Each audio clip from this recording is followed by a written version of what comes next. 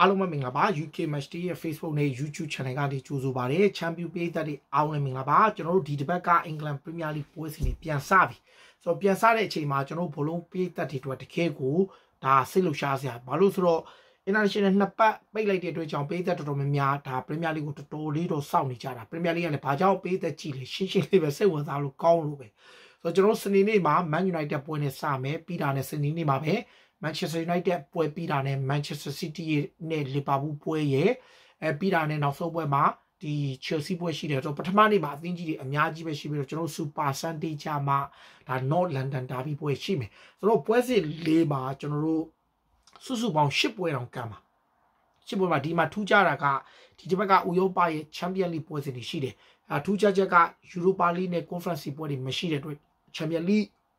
ကံမဲ့အသင်းတွေတော့ပဲတတိထားရမယ်ဘာလို့ဆိုယူရိုပါလိနဲ့ကွန်ဖရင့်စီကတပတ်ကြောကြမှာသူတို့ပြန်ရှိမှာဆိုတော့ပထမဆုံးအပတ်ကချန်ပီယံလိကိုအင်္ဂါရဲ့ဗိုလ်တဘူးရဲ့ဂျာဘေးရဲ့၃ရက်စတိုက်လုပ်တယ်ဒါအင်္ဂါနေ့မှာလီဗာပူးကံမယ်ဗိုလ်ဒူးနေ့မှာမန်စီးတီးကံမယ်ဂျာဘေးနေ့မှာအာဆနယ်ကံမယ်သူတို့အဲ့လိုခွဲလိုက်တာအဲပထမဆုံးအပတ်ပဲနောက်ပိုင်းကျရင်တော့ပုံမှန်အင်္ဂါဗိုလ်ဒူးသွားမှာပေါ့လေဆိုတော့ပထမဆုံးပွဲမန်ချက်စတာယူနိုက်တက်ဒီပွဲကမန်ဝဲဥကာဒီပါမယ်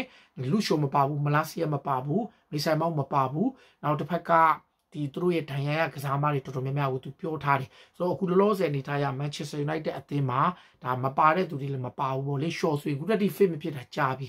ဒါ fit မဖြစ်တာပါပြီဆိုတော့ကျွန်တော်တို့တခုပဲဥကာဒီကိုပွဲထွက်ခွင့်သုံးတာဒီပွဲကလည်း Eric Ten Hag အတွက်အရေးကြီးတယ်ဒီလိုရှုံးသွားရင်သူ pressure ထပ်ဖြစ်မှာအခုလောလောဆယ်တော့ရာသီစသုံးပွဲမှာသူနှစ်ပွဲရှုံးထားတာသူအဲ့ရှုံးပွဲနှစ်ပွဲကြောင့်လေသူ့ရဲ့ယာရူးကတော်တော် question mark ဖြစ်ပြီးတော့ဒါဒီ Premier League ရဲ့ ထုတ်ခံရမယ်စင်မှာထိတ်ဆုံးမှာရှိနေတာအခုဆောင်းတန်နဲ့ကံမဲ့စိတ်မယ်ရီမှာသွားကန်ရမယ်ဒါစိတ်ကိုမန်စီဒီမန်ယူနိုက်တက်ကအရင်တော့ခဏခဏနိုင်တယ်ဒါပေမဲ့အဲ့လောက်တော့မလွယ်ဘူးလို့ထင်တယ်ဒါပေမဲ့ပွဲစဉ်လည်းတစ်လည်းဖြစ်တယ်ဒါပေမဲ့အခုလောလောဆယ်အနေထားရလေမန်ယူနိုက်တက်ကသူ့ကိုအခွင့်အရေးရနေတယ်ဘာလဲဆို pressing ကောင်းကောင်းလုပ်ဘာကြောင့်လဲဆိုတော့ Southampton က build up play ကနေကိုသမားစပြီးတော့ဘလုံးစကစားတာ Brentford နဲ့ပွဲမှာလည်းအမားတွေကြီးပဲ Newcastle နဲ့ပွဲမှာလည်းအမားတွေကြီးပဲအဲ့ဒါကို United ကောင်းကောင်း press လုပ်နိုင်ရင်တေချာပေါက်နောက်တန်းကအမားလုပ်မှာ အဲ့ကြ United 9ရမှာပြီဆိုတော့ question ကအာမတ်ဒီယာလုံးနဲ့ကာနာချိုဘသူသုံးမလဲ Sexy ပွဲထွက်ဖို့များတယ်ကွင်းလေကတော့ Casemiro ကိုပဲသုံးမလား Kobe Menu နဲ့ဒီကာနာဒီတစ်ဖက်ကဥကာဒီသုံးမလားကျွန်တော်စဉ်းစားကြမယ်ဒါကစနစ်ခွဲမှာကမ်းပါစိတ်မယ်ရီမှာကမ်းပါပြီးတာနဲ့ Manchester City မှာ Erling Haaland ပါဖို့မသေးကြဘူး fantasy ကစားသမားတွေအတွက်နည်းနည်းတော့ danger ပဲဆိုတော့ Haaland မပါဘူး Brentford နဲ့သူတို့ ပြီးခဲ့တဲ့နှစ်နှစ်ကတော့ပြီးခဲ့တဲ့နှစ်ကတော့ City ကနှစ်ကြော့လုံးနိုင်တာဒါပေမဲ့ရှေ့တစ်နှစ်တုန်းကနှစ်ကြော့လုံးသူတို့ရှုံးထားတယ်တကယ်လို့ Haaland မပါဘူးဆိုရင် City က Phil Foden တို့ဘာလို့ကို Force Number 9ပုံစံနဲ့တွေးကောင်းတွေးနိုင်တယ်ဒါအခုလောလောဆယ် Haaland တောက်ဖြစ်နေလို့သတင်းတွေတောက်လျှောက်တက်နေတယ်ဆိုတော့အခုလောလောဆယ်အနေထားရ Manchester City အသင်းရဲ့လက်ရှိအနေထားပေါ့လေကျွန်တော်ပြန်ကြည့်တဲ့အခါမှာ City ဒီပွဲမှာလူဆုံးပါမလားဒါ City ဘက်ကရောဘသူတွေမပါနိုင်လဲဆိုတဲ့အချက်ရှိတဲ့အခါမှာအခုလောလောဆယ်အနေထားရတော့ဒါဘယ်လိုပြောမလဲဆိုတော့ Manchester City ကဟာလန်မှာပါလေပြတ်တာတော့မရှိဘူးသူတို့မှာ fire power ရှိတယ် Brentford မှာ Wissa နဲ့အမ်ဘူမိုအတွဲအားကိုးရတာမှန်ပေမဲ့သူတို့အရင်လိုခံစစ်အရန်မကြစ်လေဘူးကျွန်တော်တင်လာတော့ဟာလန်ပိုင်တော့ကျွန်တော်ဟာလန်အတွက်နောက်ထပ်တစ်ချိန် hat trick ပဲဟာလန်မပါဘူးဆိုတော့နည်းနည်းတော့ထိုက်ကိန်းဖြစ်မယ်နိုင်တော့နိုင်မယ်ကျွန်တော်တို့ City ဘာလို့ဆိုတော့သူတို့က Champions League ပွဲစဉ်အဖြစ် Inter Milan နဲ့လည်းကန်ရမယ်ဒါပေမဲ့သူတို့အဝေးကွင်းတော့မဟုတ်သူတို့အိမ်ကွင်းပဲ Inter Milan ကိုအိမ်ကွင်းမှာကန်ရမှာအဲ့ပွဲကတော့အခုဒီညပွဲပေါ့လေရှစ်ခွဲမှာကန်မယ်ပြီးရင် Liverpool က Forest နဲ့ Liverpool က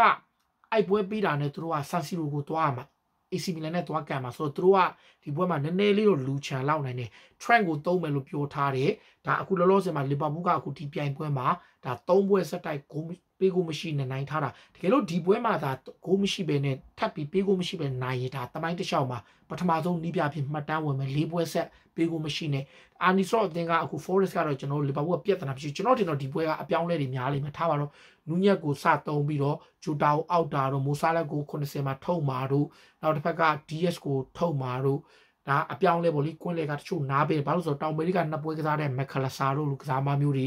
နောက် ကစားမတွေတော်များများသူနည်းနည်း rotation လုပ်ကောင်းလုပ်နိုင်တယ် Nottingham Forest ဆိုတော့သူဖြစ်နိုင်ခြေရှိတယ်ဒါပေမဲ့ဒါဒီပွဲရှိတယ်ဒါအိုက်ပွဲလည်းည၈ခွဲပဲပြီးတော့မှကျွန်တော်တို့ဒီနောက်ဆုံးပွဲကတော့ဒါ Chelsea ဘောလေဘုံမောက်အိုက်ပွဲမှာကျွန်တော်တို့ Kepa Arrizabalaga ဖမ်းလို့မရဘူးဘာလို့ Chelsea ကငါးချတာတဲ့ကြောင့် Kepa အိုက်ပွဲမှာဖမ်းခွင့်မရှိတော့ဘုံမောက်က ဒီ netto ပဲဖမ်းဖို့ဒီ netto ဖြစ်တဲ့အရန်ကိုသမားပဲဖမ်းရမယ်ဒါအခုလောလောဆယ်အနေထားကြားထဲမှာ Aston Villa နဲ့ Everton ရှိတယ်ဒါ Brighton Ipswich Crystal Palace Leicester City Fulham နဲ့ West Ham ဒါဆိုတော့လီဗာပူးရဲ့ Man City ရဲ့ဒီနှစ်သင်းကတော့ Champions League ပွဲအတွက်နည်းနည်းလေးတော့သတိထားရမယ်။ Eric Ten Hag အတွက်လုံးဝအမားခံလို့မရဘူးလေဆိုတော့ Manchester United Liverpool Man City နဲ့ Chelsea တို့၄သင်းသလုံးသုံးမှတ်အပြည့်ရမယ်လို့ထင်တာဘယ်လိုမြင်ကြလဲကိုမတ်မှာဝင်ရောက်မှတ်ချက်ပေးကြပါအားလုံးကျေးဇူးတင်ပါတယ်